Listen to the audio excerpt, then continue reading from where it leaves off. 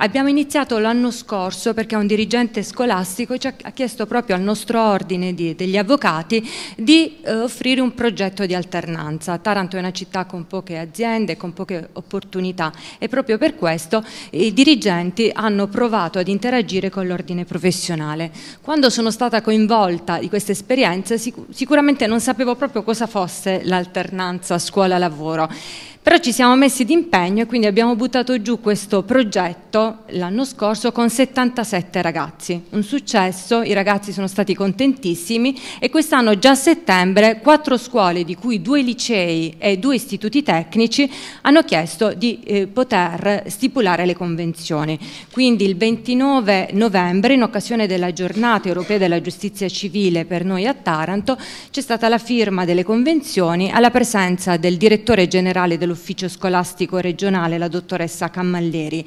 Ed è iniziata quindi questa collaborazione anche con il direttore generale eh, che ha, ci ha portato lunedì, eh, proprio quindi eh, qualche giorno fa, alla firma di una convenzione proprio con il direttore generale eh, e con, abbiamo stilato anche un programma triennale sulla base di quelle che erano state le indicazioni che il Consiglio nazionale forense ci aveva dato, ha fornito e quindi indicato a novembre. Effettivamente in quella occasione io non mi sono sentita sola perché ho avuto a fianco a me il loro appoggio perché appunto da 77 ragazzi siamo arrivati quest'anno a 140 quindi facciamo un po' le somme ci rendiamo conto di quanti sono i ragazzi a cui offriamo questa nostra collaborazione e questa nostra esperienza di educazione questa missione sociale del, dell'avvocato che penso sia importantissimo proprio per iniziare i ragazzi a questa educazione alla legalità al rispetto delle regole e quindi farli sentire cittadini veramente del, del tessuto sociale,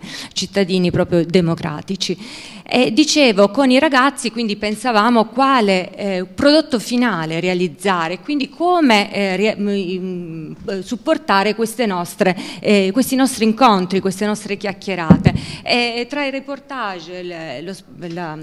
lo studio simulato, hanno scelto la guida giuridica e quello che mi hanno chiesto era di conoscere bene i loro diritti e doveri come studenti all'interno proprio della comunità eh, scolastica.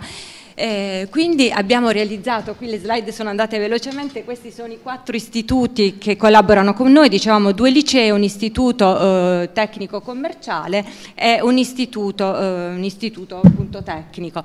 E quindi la guida giuridica pre ha previsto, prevede, sì, eh,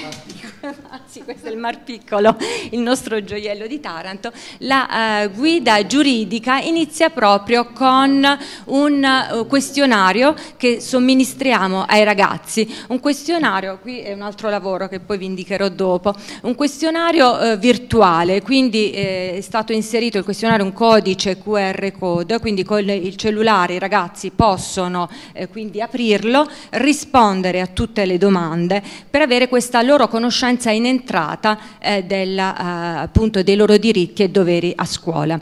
Il, fatto quindi con, poi abbiamo una, le stime proprio eh, quindi in tempo reale di tutte quelle che sono le conoscenze dei ragazzi, ecco questo è il questionario in, in ingresso, i ragazzi poi pongono tutte queste serie di domande, quindi sarà una botta e risposta tra quelle che sono le loro domande, curiosità sui diritti a scuola e poi e quindi come sono realmente, perché i ragazzi vanno a scuola dalla prima elementare però tante volte non si rendono conto di quelle che sono le cose che possono fare o che non devono fare.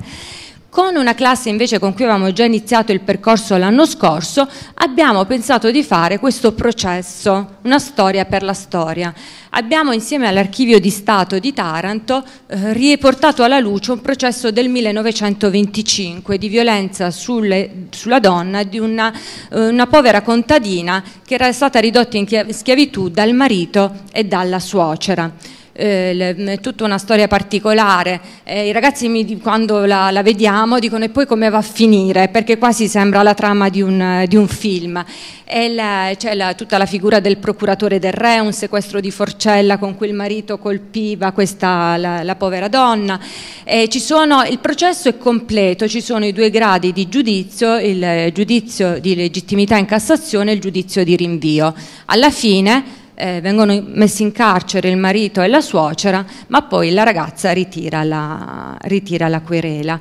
Quindi questo, per questo lavoro i ragazzi analizzeranno eh, tutto il profilo, quindi in archivio di Stato il profilo eh, geografico eh, del, del, tessuto ionico e il profilo geografico e sociale delle campagne e insieme all'università, eh, sempre della facoltà di giurisprudenza di Taranto, vedremo poi i risvolti penali e come questa violenza di genere, la violenza sulla donna veniva argomentata all'epoca e come invece ha i risvolti sì, attuali. Eh, quindi le, eh, questi incontri li facciamo sia in tribunale a scuola forense ma anche li abbiamo fatti all'archivio di Stato e anche poi a scuola, quindi non li facciamo negli studi privati, le, queste lezioni, questi incontri vengono fatti in questa maniera. Abbiamo poi proposto alle scuole un programma triennale che vedrà nel secondo anno, sempre in merito a questo incontro del 29 novembre che è stato così illuminante, la figura dell'avvocato come portatore qualificato delle istanze di giustizia dei cittadini, quindi il processo come logos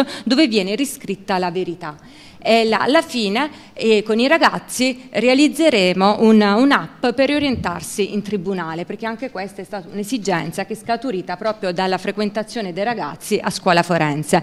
Eh, perché cerchiamo un po' di sviluppare anche le competenze trasversali e proprie dei percorsi formativi, quindi la guida giuridica verrà vogliamo tradurla anche in cinese perché ci sono delle classi che hanno anche dei corsi di cinesi, questo per l'interculturalità, proprio è bello aprirsi a